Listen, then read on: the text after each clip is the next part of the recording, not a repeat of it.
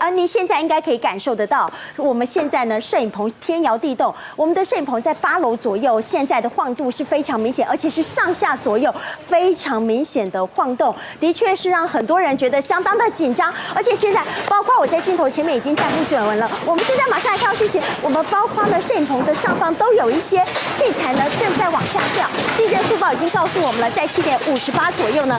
发生的有感地震，这是非常有感的，而且呢震央看起来是在花莲地区，觉得非常紧张，因为连我自己在镜头前都有一些慌张，可能不只是三级左右，大家不要紧张，这样的地震感受的确是比较明显的，包括摄影棚都已经有灯架开始在倒下来了，因为摇晃的时间相当长，从刚刚地震一开始到现在哦，可能持续时间已经有将近四十秒甚至五十秒左右，到目前为止都没有停下来。